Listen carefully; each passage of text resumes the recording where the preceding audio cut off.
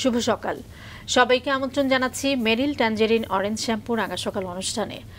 দিনটি সবার ভালো কাটবে, সেই প্রত্যাশা দিয়ে শুরু করছি আজকের রাঙা সকাল, দু ঘণ্টা জুড়েই আয়োজন। আর পুরো রাঙা সকাল পরিবার আছে আছে কাজে রসনারা সাকি। এবং রয়েছে আমি শাহরিয়ার। দর্শক, শুভ সকাল আরও একবার আমাদের সবার পক্ষ থেকে। তবে দর্শক রাঙা সকালের কিছু কিছু সকাল হয় বেদনা বিধুর সম্প্রতি আমরা হারিয়েছি বীর মুক্তিযোদ্ধা এবং চিকিৎসক ডক্টর জাফরুল্লাহ চৌধুরীকে। তিনি দু হাজার চোদ্দ সালের ষোলোই অক্টোবর আমাদের রাঙা সকালে সেটে এসেছিলেন। চলুন তার স্মৃতির উদ্দেশ্যে অনুষ্ঠানটির পুনঃপ্রচার দেখি।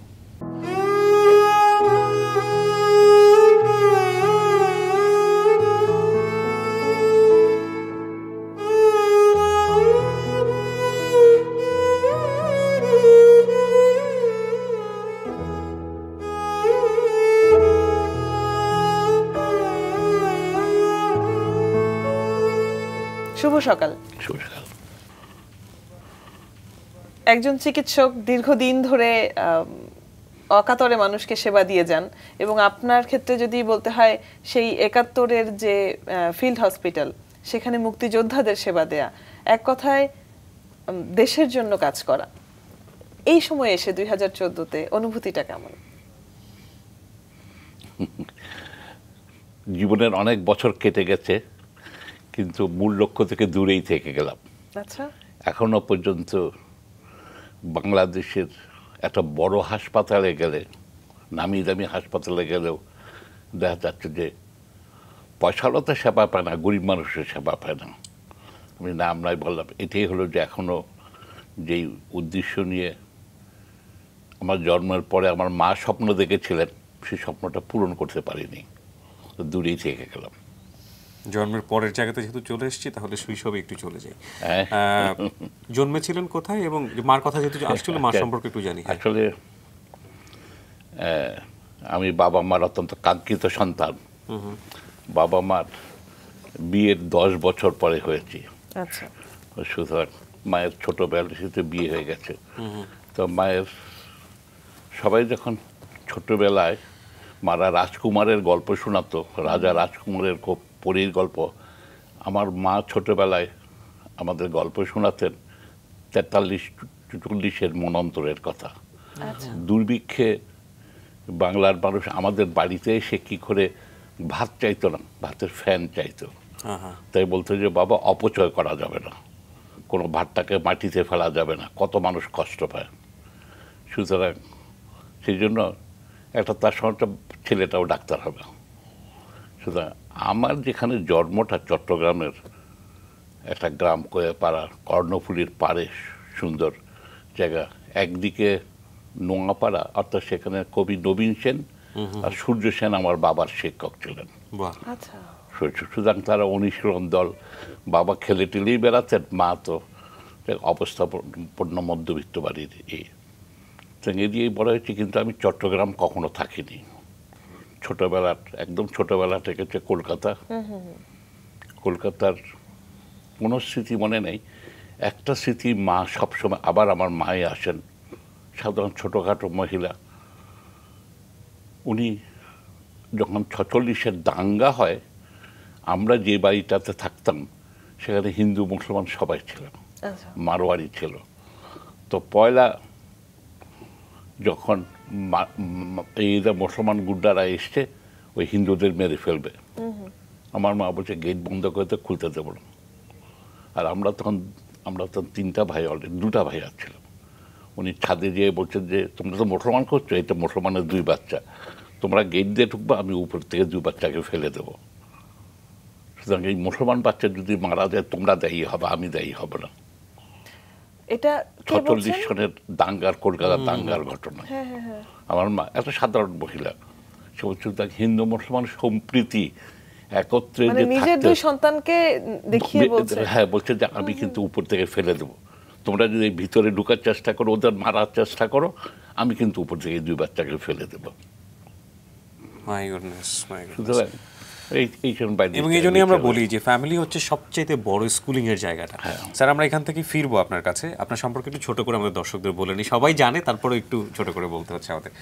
দর্শক আমাদের সঙ্গে রয়েছেন যদি বলিভাবে বলতে হবে যে বাংলাদেশের সাধারণ মানুষের কাছে স্বাস্থ্য সেবাকে পৌঁছে দিতে যে কজন দীর্ঘদিন ধরে কাজ করে চলেছেন তার মধ্যে আমাদের আজকের অতিথি অন্যতম ডাক্তার জাফরুল্লাহ চৌধুরী। জনহিতকর প্রতিষ্ঠান গণস্বাস্থ্য কেন্দ্র এর অন্যতম প্রতিষ্ঠাতা তিনি।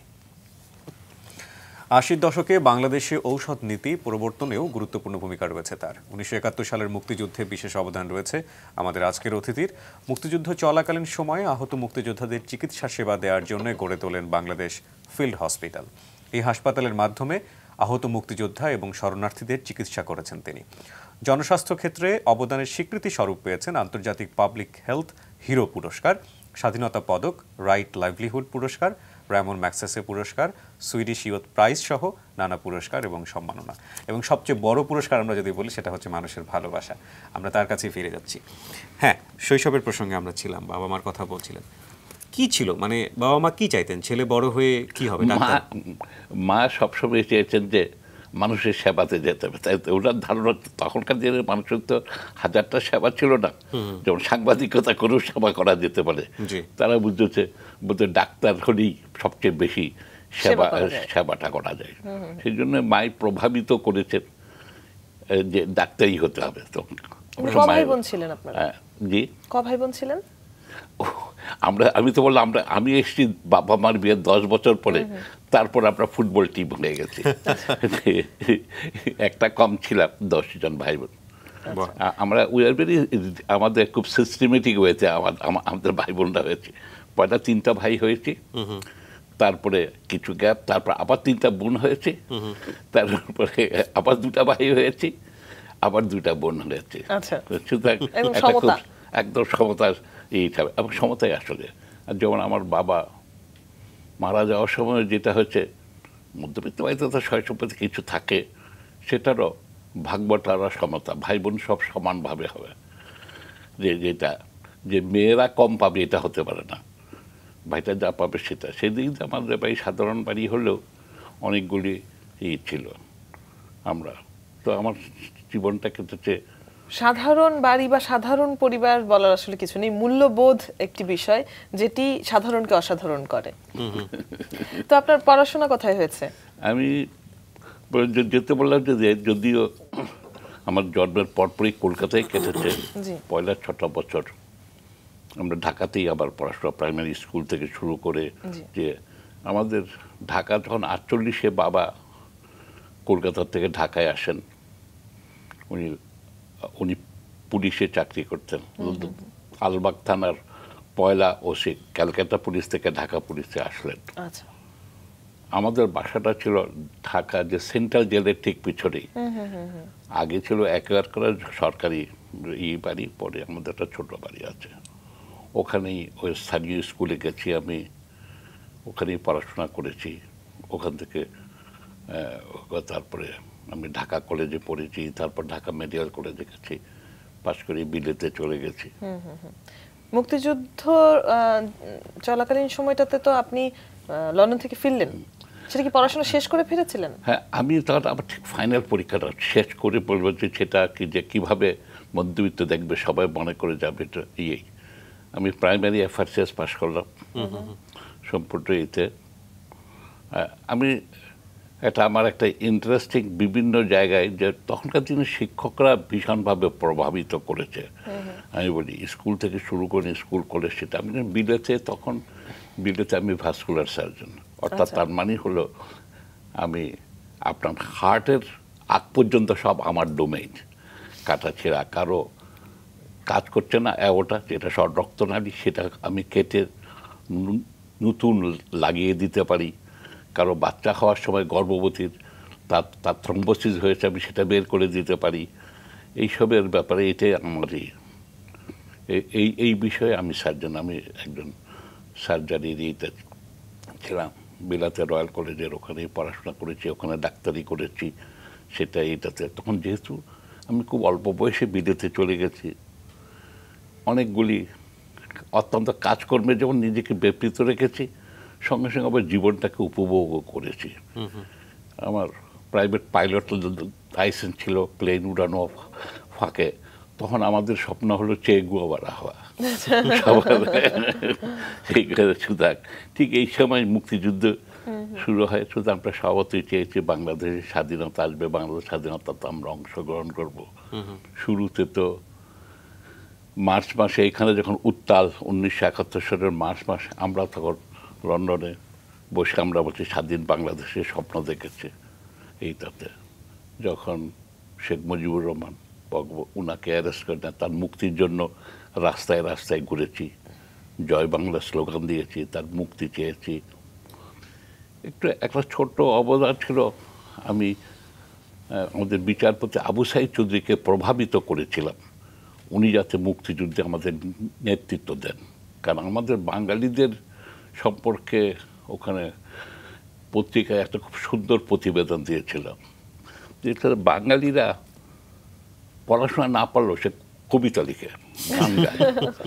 তারা দুটা বাঙালি যদি থাকে তিনটা পার্টি হয়। দুই বাঙালি দুজনে দুটা আবার দুজনে মিলে একটা। এবং এরা অদ্ভুত আমাদের বর্ণনা দিয়েছে। এরা খুব খুব ভীতু লোক এরা খুব হসপিটেবল লোকজন আতিথীয় প্রিয় লোক। কিন্তু এবার বাঙালিরা রেগে গেছে। তাই বলছে যে এবার ওনারা এপ্রিল মাসে এটা সম্ভবত এই লেখাটা লিখেছিল। তারা রেগে গেছে। পৃথিবী হয়তো একটা নতুন কিছু দেখবে একটা নতুন দেশ হচ্ছে আমি সারপ্রাইজ যে তারা কত ভালো অবজারভেশন আমাদের চরিত্রের বিশ্লেষণ কিন্তু খুব সুন্দরই করেছিল। একটা স্বাধীন দেশ চাই সেটার জন্য যে কর্মকাণ্ডের সাথে জড়িত হওয়া সে প্রসঙ্গে আপনি কথা বলছিলেন। সেই সময়ের অভিজ্ঞতাগুলো একটু শুনি। যেটা হলো কি একটা দেশের স্বাধীনতা একটা ব্যক্তির ঘোষণা বা একটা বক্তৃতা দিয়ে আসে না। এটা হাজার হাজার লক্ষ লক্ষ লোকের অবদান লাগে। যেমন ধরেন প্রভাসে ছিলাম আমি বিলেতে লন্ডনে। তখনকার দিনে প্রায় চার পাঁচ হাজার ডাক্তার বিলেতে তারা ট্রেনিং নিচ্ছে কাজ করছে। কিন্তু এক লাখের মতো সাধারণ বাঙালি ছিল। এরা বেশ খুব সাধারণ কাজ করতো শ্রমিক তারা খাবার দোকানের কর্মচারী ইত্যাদি। এরা খুব কষ্ট করেই থাকতো। তাদের জীবন কিন্তু সহজ ছিল না যদিও বিদেশে এরা এক রুমে বিশ তিরিশ জনও থাকতো এরকমও হয়েছে। কিন্তু এরা প্রত্যেকে কন্ট্রিবিউট করেছে। দেখা গেছে সাধারণ মানুষ যত বেশি কন্ট্রিবিউট ঠিক ওভাবে ডাক্তার অত ডাক্তারের কাছে দশ পাউন্ড চাঁদা নিতে আমাদের যে কষ্ট করতে হতো শ্রমিকটা কিন্তু নির্বিবাদে এসে পাঁচ পাউন্ড করে দিয়ে গেছে প্রত্যেক সপ্তাহে। এটি হলো তাদের মন। সেই জন্য বলি যে স্বাধীনতা সেইটার স্বাধীনতা অনেকেরই শ্রমের ফসল। তা ছুটি নিয়ে সে হাইট পার্কেই করেছে? আমরা আমাদের পাসপোর্ট পুড়িয়ে দিয়েছি আমাদের আমরা আর পাকিস্তানি না। ডক্টর মবিন বলে আমার একজন সে স্কটল্যান্ড থেকে আসলো। আমরা সেখানে শেখ মুজিবের ঈদ জন্য আবু সাইদ চৌধুরী সাহেবের একটা যা বিচারপতি উনি ঢাকা ইউনিভার্সিটির ভাইস চ্যান্সেলর ছিলেন উপাচার্য ছিলেন। উনার ছাত্রদের বেড়েছে বলে উনি পদত্যাগ করে দিলেন। কয়টা লোকের সাহস হবে? আজকে একটা নীতি কথার জন্য একটা উপাচার্যকে স্ট্যান্ড নেবেন? তারা সেখানে সম্পূর্ণ হিপোক্রেসিয়ারি এই লোকটা কোনো থাকার জায়গা নাই কিছু নাই তার পরিবার নিয়ে উনি লন্ডনে আমাদের কতইভাবে আমরা ছোট বাচ্চা কায়সার যে মন্ত্রী হয়েছিল এনারা প্রত্যেকটা এমপির কাছে গেছেন। বিলেতের যে সম্প্রতি মারা গেল যে রিচার্ড অ্যাটেনবেরো খুব নাম করা যিনি গান্ধী ফিল্ম করেছিলেন। আচ্ছা। সেই ভদ্রলোককে আমাদের মুক্তিযুদ্ধের সপক্ষে নিয়ে আসা আমরা সবাই গিয়ে ধরলাম। তারা স্বাক্ষর করলেন। এমপিরা তাদের এই কারণেই তা না হলে তো ধরেন বঙ্গবন্ধুকে তারা বিচারই করতে চাইছিল। আবু সাইদ চৌধুরী সাহেবেই প্রতিটি এমপির দরজায় দরজায় গেছেন। তাই তার বিচারটা হয়নি। বিচার হলে কিন্তু ফাঁসি হয়ে যেত। আজকে আমরা জীবিত ফেরত পেতাম না তাকে। তো এই জন্য বলি, তারপরে ইউরোপে গেছি। একসময় পরে যুদ্ধে তো আসার পরে ওখান থেকে অর্গানাইজ করার পরে সরজমিনে কী কী নিড আছে? তখন আমি আর মবিন ডক্টর মবিন এসে স্বাধীনতা যুদ্ধে যোগ দিই। পরবর্তীতে ওখানে ফরাসি একজন দার্শনিক ছিলেন অ্যান্দ্রে মালো। খুব নাম করা রোমান্টিক হিরো সে সি- স্প্যানিশ সিভিল ওয়ারই করেছে। ওই ভদ্রলোক ই হলেন যে উনি আমাদের মুক্তিযুদ্ধে অংশ নেবেন। তার কাছে ওসমানী সাহেব আমাকে দিয়ে একটা চিঠি পাঠালেন। তার কাছে অনেক অস্ত্র ছিল। তখনকার দিনে নাইজেরিয়াতে বায়াফরা যে বিভক্তি ছিল এইসব জায়গাতে আয়ারের সাথে যোগাযোগ করা হলো। কারণ তখন তারা আইরিশ রিপাবলিকান আর্মি তারা কীভাবে মুক্তিযুদ্ধ করেছে বছরের পর বছর। এইসব আর কি প্রবাসীরা এইসবও বিভিন্ন জায়গায় তারা বিভিন্ন জায়গায় আর এখানে তো সরাসরি আপনারা জানেন যে মুক্তিযুদ্ধে যে আমাদের বেঙ্গল রেজিমেন্টের পুলিশ এরা সবাই আট থেকে দশ হাজারের মতো ছিল। আর বাকি তো সাধারণ ইয়াং অল্প তরুণরা তরুণীরা তারা শ্রমিকরা। আমার মনে আছে মুক্তিযুদ্ধের সময় যাতে একজন সেটা ট্রাক নিয়ে যে হাজির হয়েছে বলছে এটা লাগবে যুদ্ধের সময়। ওই যুদ্ধের সময় ট্রাক লাগবে বলতে মালপত্র নিতে হবে না অস্ত্র টস্ত্র নিতে হবে না। সেই জন্য আমি ট্রাকটা নিয়ে কুমিল্লা হয়ে নিয়ে চলে এসেছি আগরতলা। এর অবদান তার তো বলি। তার কথা কে মনে রেখেছে আমরা? দেশের ভিতরে যারা ছিল তারা তারা যদি সাহায্য না করতো আমরা আবার এক লাখ যারা সশস্ত্র মুক্তিযুদ্ধে অংশ নিয়েছিলাম তারাই এ করতে না। স্বাধীন বাংলাদেশ বেতার কেন্দ্র। তারা যদি আমাদের উৎসাহিত না করতো তারা খবর প্রকাশিত না করতো চরমপত্র তখনকার দিনে। এবার এইসব সেই জন্য বলি যে মুক্তিযুদ্ধটা যেটা সাধারণ মানুষের যুদ্ধ। সাধারণ মানুষ আশ্রয় হ্যাঁ, দিয়েছেন লুকিয়ে রেখেছেন খেতে দিয়েছেন। হ্যাঁ আর তাছাড়া ওদিকে যদি আমি বলি ভারতের যে ত্রিপুরা রাজ্যে তাদের যত লোক তার চেয়ে বেশি ছিল আমাদের রিফিউজি। আমরা শরণার্থী জি। সেটাই তা শরণার্থীর কথা আসলে এটাও মনে রাখতে হবে আমরা ভারতে এক কোটি শরণার্থী গিয়েছি। তিন থেকে পাঁচ লাখ শরণার্থী মারা গিয়েছিল। আমরা এইসব কথা আনি না। যদি ইতিহাসে কিন্তু এটাও থাকা উচিত। দেশের ভিতরে বাইরে তার আমি মনে করি যারা সবাই তো স্বাধীনতার জন্যই তো এই আত্মদানটা।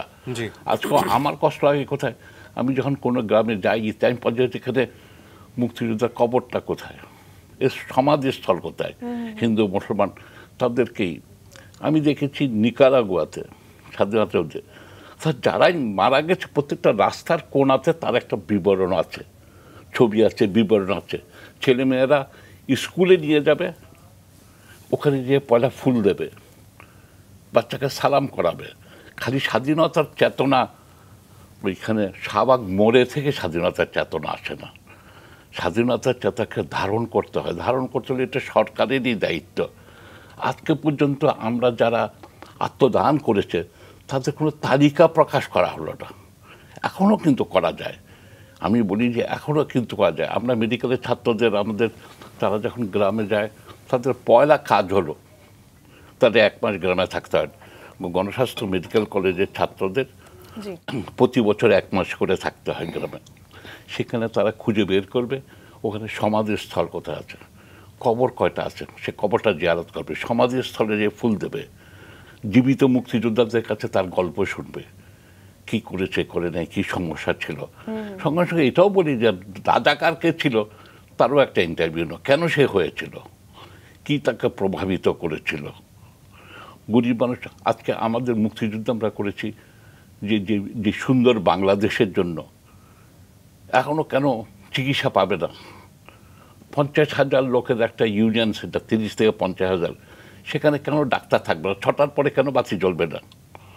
তো এইসব নিয়েই আর কি সম্পূর্ণ জীবনে যেখানে আমরা দেখি যে, আমরা অনেক কিছু অর্জন করেছি। অর্জনটা আমি বলি, যখন স্বাধীনতা যুদ্ধের সময় আমাদের আয়ু ছিল মাত্র সাঁত্রিশ বছর।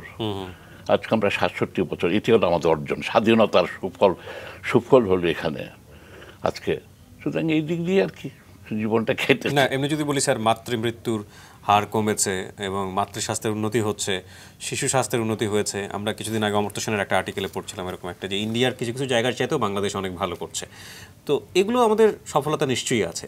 কিন্তু ইন জেনারেলি যদি আপনি বলেন যে সারা বাংলাদেশের মানুষের একটা সরকারি হাসপাতালের কথা যদি আমরা বলি, সবাই ঢাকা মেডিকেলের দিকে তাকিয়ে থাকে। এবং সেখানে যে স্বাস্থ্যসেবা, সেটা নিয়েও অনেক অনেক আলোচনা, সমালোচনার জায়গাগুলো আছে। এই জায়গাগুলোতে পরিবর্তন আনা কীভাবে সম্ভব? এখানে একটু এই অমর্ত্য সেনের কথাটা উঠল, বিদেশিরা আমাদের অনেকগুলো অর্জন হয়েছে। নিশ্চয়ই শিশু মৃত্যু কমিয়েছি আমরা, মাতৃমৃত্যু এখনও পর্যাপ্ত কমেনি। কিন্তু কতটুকু কমিয়েছি সেটাকে স্মরণ রাখতে হবে। আমাদের অর্জনটা আমরা বলি যে ভারতের চেয়ে ভালো করেছি। না ভারতের কয়েকটা রাষ্ট্র তাদের বিমারু স্টেট বলে একটা শব্দ আছে বিহার মধ্যপ্রদেশ আসাম রাজস্থান উত্তরপ্রদেশ এটা হলো বিমারু স্টেট বলে। এদের থেকে আমরা ভালো হয়েছি। কিন্তু কেরালা থেকে অনেক পিছিয়ে আছে শ্রীলঙ্কা অনেক পিছিয়ে আছে। কিউবার কথা তো চিন্তাই করা যাবে না। জি। কিউবাতে একটা শিশু মৃত্যু খুঁজে বেড়াতে হবে। যেটি আমেরিকা করতে পারেনি এই করতে এটি হলো স্বাধীনতা আনে। এবং একই সাথে স্যার নার্সিং সেক্টরটাও বোধহয় এখন খুবই গুরুত্বপূর্ণ একটা ইস্যু ডাক্তারের পাশাপাশি। সে বিষয়গুলো নিয়েও আপনার কাছ থেকে একটু জানতে চাই যে পুরো চিকিৎসা ব্যবস্থা এখন বাংলাদেশের কোন জায়গাটাতে রয়েছে? চিকিৎসা ব্যবস্থাটা বুঝতে হলে পয়লা মনে রাখতে হবে এটা কোনো এক ব্যক্তির জিনিস না। চিকিৎসাটা হচ্ছে খেলার মতো। এটাতে অনেকগুলি যেমন একটা খেলা জিততে হলে এগারো জন প্লেয়ার লাগে বিভিন্ন ফরওয়ার্ড সেন্টার ব্যাক গোলে থাকতে হয়। ঠিক? স্বাস্থ্য ব্যবস্থার চিকিৎসা সেবাটা এটা ডাক্তার কেবল ওষুধ লিখতে পারেন। কিন্তু আসলে মূল কাজটা করেন অন্যরা। সেটা হলো নার্সরা প্যারামেডিকরা টেকনিশিয়ানরা। এবং প্রত্যেকের একটা স্পেসিফিক ই আছে। সবচেয়ে বড় কথা একটা রুগী যখন অসুস্থ থাকে তাকে একটা হেসে কথা বলাটা। জি। একটা গরম হাত একটা উষ্ণ যেখানে এসে তাকে ধরে সান্ত্বনা দেওয়াটা এটা কিন্তু লোকের অর্ধেকটা না হলো কটা শিখটা ওই কারণেই ভালো হবে। আজকে আমাদের এখানে যে টিম ওয়ার্কটা এটা কি পরিপূর্ণতা লাভ করছে না? আমাদের নার্সকে আমরা যথাযোগ্য মর্যাদা দিচ্ছি না। অপরপক্ষে আবার নার্সরা কি হচ্ছে? ওনারা একটা সুন্দর সাদা শাড়ি পরা সুন্দরী মহিলা হয়ে গেছেন। কিন্তু তার যে সেবার জন্য যে জিনিসটা আছে ছটফট করে যা- এখানকার ইতে একটা রুগী আসলে আমার ডাক্তারও দৌড়ায় না নার্সও দৌড়ায় না প্যারামেডিকও দৌড়ায় না। এরকম ঘটনা ঘটে দেখা যায় যে রোগী- সর্বত্র এটার ব্যাপারটা হলো এটা আমাদের মানসিকতা। একটা জিনিস। এটা কিছু না এর ফলে যে একদম মারা গেছে তা হয় না রুগী। কিন্তু আপনি যখন অসুস্থ থাকেন তখন যেটা বলি অসুস্থ থাকে তখন মনে হয় যেন আমাকে কেউ তাড়াতাড়ি দেখুক। আমাকে তাড়াতাড়ি দেখুক Care একটা- করুক। একটা অন্য সব কিছু ভালো করে দেবো তা না। তার অ্যাটেনশন যেটা বলা হয় এই অ্যাটেনশনের জন্য যে টিম ওয়ার্কটা ইয়ে করা আমি রক্ত নেব তাকে একটু শান্ত দেওয়া এটা বেশি ব্যথা পাবে না। একটু দেখা এটাকে এই করে তারপরে রক্তটা নেওয়া। তাকে রিপোর্টটা বুঝিয়ে বলা তাকে ওষুধটাকে বুঝিয়ে দেওয়া এটার জন্য বলে যে ইন্টিগ্রেটেড যে বুঝে সামগ্রিকভাবে এই জিনিসটা আমরা এখনও পর্যন্ত পরিপূর্ণতা লাভ করতে পারছি না। অথচ আমরা যুদ্ধ করে যা- জয়ী হয়ে এসছে। যুদ্ধ আমি আগে প্রথমেই বলেছি যে এক ব্যক্তি দিয়ে হয়নি সবাই মিলিতভাবে চেষ্টা করেছি। দেশের ভিতরে বাইরে সবই মুক্তিযোদ্ধা আমার হিসাবে। এই জিনিসটাকে গ্রো করানো যাচ্ছে না। আজকে যেমন ধরেন দেশে পত্রিকা খুললেই প্রশ্ন আসছে ভুয়া চিকিৎসক। ঢাকা শহরে- নিয়ে তো ঢাকা শহরে কেন ভুয়া চিকিৎসক? অন্য জায়গায় একটা কথা হতে পারে যেখানে ডাক্তার নাই। পীর সাহেবের পানি পড়া থুতু খে- খেতে থাকবে বা অমুকটা এই কথা কিন্তু এখানে হয় এখা- এখানে কেন ভুয়া ডাক্তার থাকবে? পত্রিকাতে আছে আমাদের পঙ্গু হাসপাতালের সামনে কি করে ভুয়া ডাক্তার থাকতে পারে? তার মানে বলতে হবে যে আমাদের গোড়ায় কোথায় গলদ আছে? আমরা ডাক্তাররা আমরা জনসাধারণের মনের কাছে পৌঁছতে পারিনি। এই জায়গাটা এটা বিশ্বের এটা চিকিৎসক সব নিজেরাই দেখতে হবে সেখানে এটাতে অপরদিকে যেটা বলেছি আমরা তো স্বাধীনতা কথা শুরু করেছিলাম। গ্রামে তিরিশ চল্লিশ হাজার লোকের জন্য একটা ডাক্তার থাকবে না এটা হতে পারে না। সরকারির এখানে আমি মনে করি সরকারের চিন্তা চেতনায় একটা গ্যাপ রয়ে গেছে। যেমন ধরেন বাংলাদেশে একশো ষাট একশো ষাট মিলিয়ন লোক মানে ষোলো কোটি লোক আছে। প্রতি দু হাজারের জন্য যদি আমি একজন ডাক্তার ধরি দু হাজার সবাই বলবে যে দু হাজারের জন্য খুব বেশি কাজ হয়ে যাবে তার জন্য। তা তো আমার এক লাখ ডাক্তার দরকার হবে। এক লাখ ডাক্তার দরকার হবে। এক লাখ ডাক্তার এখন আছে চল্লিশ হাজার। প্রতি বছর চার পাঁচ হাজার মারা যাবে রিটায়ার করে ইত্যাদি যাবে কিন্তু সরকার এই যে এক লাখের যে লক্ষ্যটা তো আমাকে পৌঁছতে হবে। তাহলে কি করতে হবে? আমাকে অনেক ডাক্তার তৈরি করতে হবে। অনেক ডাক্তার তৈরি করতে হলে আজকে এইবার ডাক্তার নেবে সরকার। মেডিকেল কলেজের পারমিশন দিয়েছে সত্তরটা না আশিটা। অথচ ডাক্তারি পড়াচ্ছে মাত্র পাঁচ হাজারকে। কথা বলছেন অথচ সেই জন্য আমাদের শিখতে কিউবা থেকে। এই যে এই ইবুলার কথা হয়তো সবাই দেখছেন ইবুলাকে পৃথিবীকে ই করে দিচ্ছে। সেখানে সবচেয়ে বড় কন্টিনজেন্ট কার কার জানেন? কিউবার। তারা দেড়শো ডাক্তার পাঠিয়ে দিয়েছে। হয়তো কারও কাছে কোনো কিছু দরকার আছে? তোমাদের? ঠিক আছে আমি দেড়শো ডাক্তার পাঠিয়ে দিয়েছে দেড়শো নার্স পাঠিয়ে দিয়েছে। তারা কি করেছে? তারা হিসাব করেছে এতটা লোক লাগবে। তাতে কি হয়েছিল? কিউবাতে তারা স্বাধীনতার সময় দেখে যে সব ডাক্তাররা স্প্যানিশ ডাক্তাররা সব চলে গেছে। তখন তারা আমাদের অনেক ডাক্তার তৈরি করতে হবে। তারা জানতো প্রথম দিকে ডাক্তাররা সব হয়তো আইডিয়াল হবে না। কিন্তু আমাকে তৈরি করতে হবে, তাকে মন মানসিকতা তৈরি করব, তারপর চিকিৎসাটা পাবো। পর পর মানবিক গুণটা তাকে ইনজেক্ট করতে হবে। তাহলে তোমাকে পয়লা তারা মানবিক গুণ ইনজেক্ট করছে, তারপরে ওষুধ দেখা শিখেছে অপারেশন করা শিখেছে ইত্যাদি শিখিয়েছে।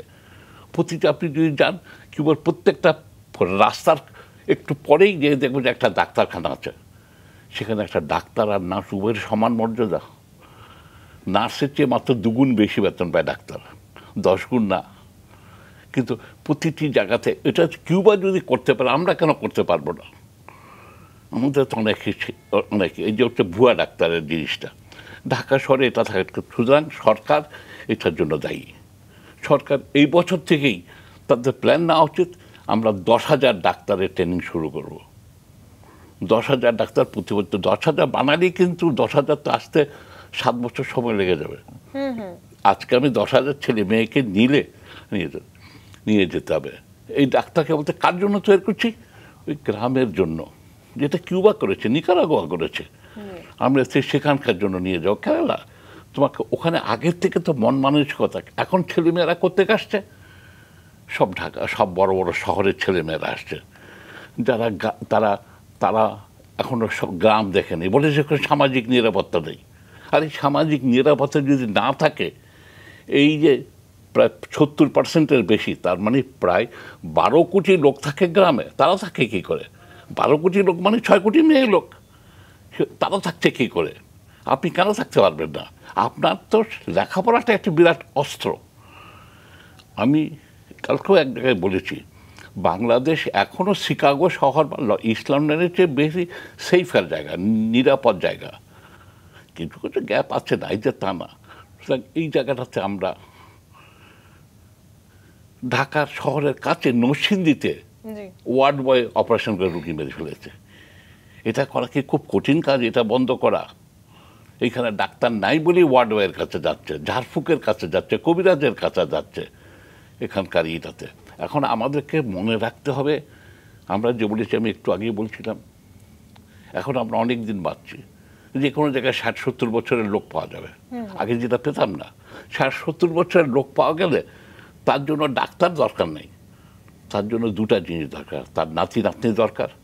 যে হেসে বলবে দাদু তুমি কি গোসল করছ আজকা? সাঁতার দিছ ওটাই তাকে দরকার। হাসি তাকে তার কেউ একটা বাচ্চার গরম হাত আপনি দরকার। হাতটা ধরে থাকবে। একটা এইটা আর দ্বিতীয়ত কী দরকার? ফিজিওথেরাপিস্ট দরকার। হাতে পায়ে ব্যথা হচ্ছে তাকে বলতে হবে তাকে একটু ম্যাসাজ ওটা ওষুধে ভালো হবে না। ওষুধের সমস্যার সৃষ্টি করে দেবে। ওষুধ খাওয়ার পরে এরকম এরকম করতে থাকবে। এগুলি বন্ধ করতে হলে সুতরাং সামগ্রিকভাবে এই সম্পূর্ণ চিন্তাটাই আনতে হবে, আমাদের সামগ্রিক চিন্তা। আজকে স্কুল কলেজের ছেলেকে বলতে হবে, তোমাকে এক মাস দিয়ে তোমরা গ্রামে ঘুরে আসো। দেখো কীরকম আছে? পশু পাখি, এই যে মাছরাঙ্গা অমুকটা গাছের একটা পাখি খুঁজে বের করো তো। পুকুরে জাল মারাটা ধরো তো। সেটাও টেকনোলজি আমি এত লেখাপড়া শিখতে পিএইচডিকে দিলেই সে একটা জাল ছুটতে পারবে না। সে আইটিতে অনেক কিছু করতে পারবে সুতরাং তার মানে তাকে সম্মান করতে শিখবে। তখন দেখবেন যে কৃষক সে কত তাড়াতাড়ি হাতে ধান লাগিয়ে যাচ্ছে এটাও একটা জানার বিষয়। তবেই আমরা সম্মান করতে শিখব। আজকে সহিষ্ণুতা যেটা কালকে আমি বলেছি এক জায়গায় ছাত্রদেরকে আমাদেরকে একটা অপরকে সম্মান করতে শিখতে হবে সহিষ্ণুতা। ছাত্রদের দেখেন আজকে ডাকসুর নির্বাচন নাই। কোনো বিশ্ববিদ্যালয়ের ছাত্র নির্বাচিত ছাত্র সংসদ নাই। তারা দেশের অন্য আন্দোলন করছে। স্যার অনেক কথা আছে বলার মতো। আপনার অভিজ্ঞতা যদি আপনি আমাদের সাথে ভাগাভাগি করতে বসেন তাহলে একটি ঘণ্টা অবশ্যই কম পড়ে যাবে। আমরা আপনার অনেক বড় একটি কাজ নিয়ে কথা বলতে চাই তা হচ্ছে গণস্বাস্থ্য কেন্দ্র। এটা বোধহয় যুদ্ধোত্তর বাংলাদেশে আপনার এবং আপনার মতো সমমনা যারা ছিলেন তাদের একটা প্রচেষ্টা। জি। আসলে যেটা হলো কি আমি আগে বলেছি যে স্বাস্থ্য কখনো একটা আমার একটু বিলতে পিছনে ফিরিয়ে দিতে হয় আমাকে। আমি যুদ্ধক্ষেত্রে যখন আসলাম তখন আমি যেহেতু ডাক্তার হিসাবে আমি জানি যে এটা। এখানে হাসপাতাল তৈরি করাতে গেলে হাসপাতাল তৈরি করলে কেবল ডাক্তার দিয়ে হবে না। তখন আমরা হঠাৎ লক্ষ্য করলাম পর্যাপ্ত ডাক্তাররা মুক্তিযুদ্ধে অংশগ্রহণ করে নাই। এটা হলো যে অপরচুনিস্ট ক্লাসেরই আমরা সম্পূর্ণ জিনিসের এখানে করে নেই। কিন্তু হাসপাতাল ছাড়া তো যুদ্ধ করা চলবে না। ফিল্ড হসপিটাল লাগে নার্স লাগে। তো নার্সের বেলার সমস্যাটা খুব কম ছিল। ভারতীয়দেরকে অনুরোধ করা হলো তাহলে তো মাথা খারাপ। ফ্রন্টে গিয়ে মারা যাব আমি নার্স পাওয়া মুশকিল হলো। আমি বললাম আমাদের প্রধানমন্ত্রী তাজউদ্দিন সাহেবকে বললাম আরে তাজউদ্দিন ভাই বিলাতে অনেক নার্স আমাকে ভলেন্টিয়ার করতে চেয়েছে। তাদের নিয়ে আসতে পারি আমরা। তারা এসে আমাদের হাসপাতালে তারা ট্রেনিং ট্রেনিং দেবে। ওসমানী সাহেবরা ওসমানী সাহেব রাজি ছিলেন যে আনতে পারে বিলাত থেকে। আর যদি তারা ভলেন্টিয়ার সব দেশেই হয়। স্পেনিশ সিভিল ওয়ারের কাহিনী বললেন তারা সেখানে যুদ্ধ করতে গেছে অন্যরা সুতরাং হোয়াই নট কিন্তু তাজউদ্দিন সাহেব বলেন দেখেন জাফরুল্লাহ যুদ্ধ আর প্রেম একটা জিনিস সবসময় সত্য কথা বলা চলে না।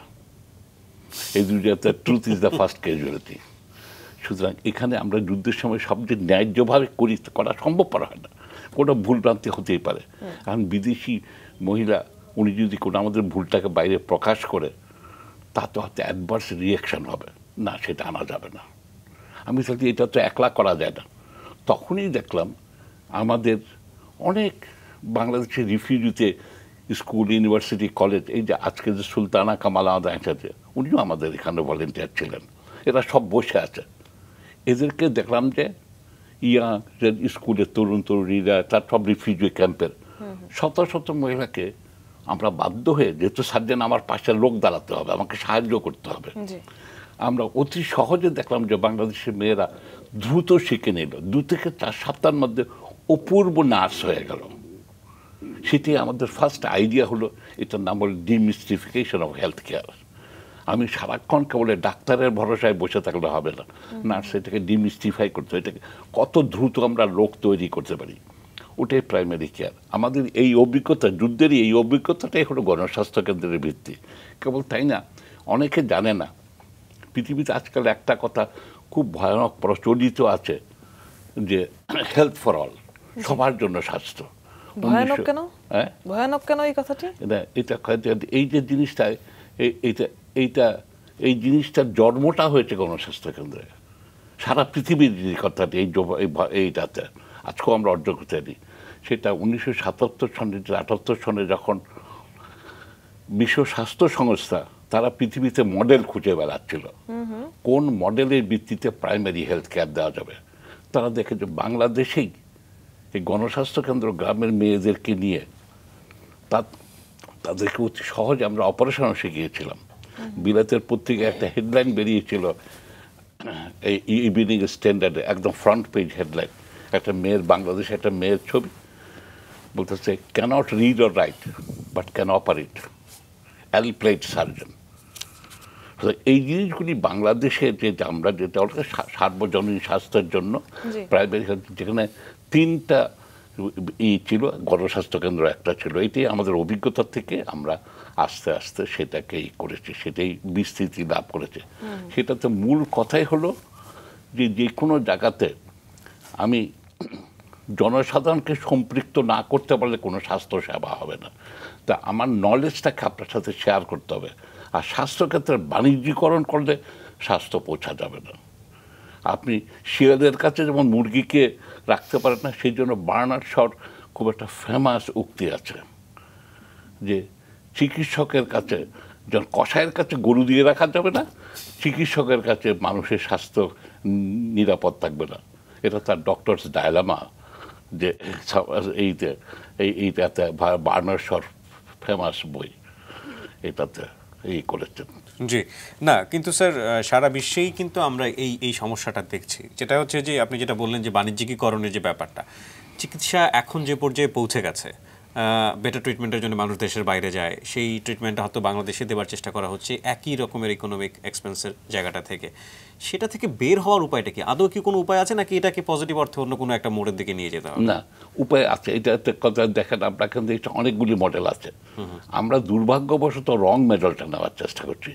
স্বাস্থ্যক্ষেত্রে একটা দেশ পরিপূর্ণভাবে ব্যর্থ হয়েছে আবার দু চারটা দেশ সফল হয়েছে। আমি তাকে উদাহরণ দিয়েছি কিউবা। তার হান্ড্রেড রোদের তাকে শিখতে পারি আমরা। অপরদিকে ব্যর্থ হয়েছে কি? আমেরিকা। টোটালি ফেল করে গেছে। পঞ্চাশ মিলিয়ন আমেরিকায় লোক আছে যারা চিকিৎসা সেবা পাচ্ছে না। আমেরিকার যতগুলি জেলখানা আছে তার অর্ধেকের বেশি লোকও জেলখানায় আছে। তার কারণ কি জানেন? তারা স্বাস্থ্য ব্যবস্থাকে পয়সা দেয় নাই বলে। হয় টাকা পে করে নেই অথবা তাকে ইন্স্যুরেন্স কোম্পানির ভুল নম্বর দিয়েছে ইত্যাদির কারণে। মানে আমরা কিন্তু স্বাস্থ্য বিমার এই তথ্য আমরা সেই মডেলটাকে অনুসরণ করার চেষ্টা করছি। বাণিজ্যিকরণের ব্যাপারে দুটা ভাবে মনে রাখতে হবে। ঠিক আছে যে ব্যবসা করবে করতেই পারে। কিন্তু সরকারি ডাক্তার প্রাইভেট প্র্যাকটিস করবে সেটা আপনি যদি আমি একটা ছোট উদাহরণ দিয়ে বলি। আজকে যদি জজ সাহেবদেরকে বলি যে বিকালবেলা পাঁচটার পরে তুমি প্রাইভেট প্র্যাকটিস করতে পারবে আপনি কালকে সকালে বিচার পাবেন। এই সবগুলি যত দুদুকের ঈদের কি অবস্থা হবে? তাই এখানে। অথবা আমার আর্মিকে যদি বলি তুমি দুটো পর্যন্ত ডিউটি করো রাতের বেলা সিকিউরিটি করে কাজ করো। আমার দেশের কি নিরাপত্তা থাকবে? সুতরাং এই জন্য সরকারি ডাক্তারের প্রাইভেট প্র্যাকটিস থাকতে পারে না। তাকে বেতন ভাতা বাড়িয়ে দিয়ে সেখানে তাকে হয়তো খুশি করার অন্য। তে কিন্তু লোভ লালসাটা কিছুটা কমাতে হবে বই কি। এবং এই এই অসাধারণ মেসেজ দিয়েই আজকে আসলে রাঙা সকালটা শেষ করতে হবে। সময় ফুরিয়ে গেছে না হলে আপনার কাছ থেকে আরও অনেক কিছু জানা হতো। গণস্বাস্থ্য কেন্দ্রের বিভিন্ন উদ্যোগ রয়েছে সেগুলো নিয়ে কথা বলার আজকে সময় হলো না। সামনে আমরা কোনো এক সময় নিশ্চয়ই বসবো স্যার আপনার সাথে। আপনাকে অনেক ধন্যবাদ অনেক শুভকামনা। গণস্বাস্থ্য কেন্দ্র যা কাজ করে চলেছে সেই কাজগুলোর সফলতা আসুক সেরকম কামনা থাকছে।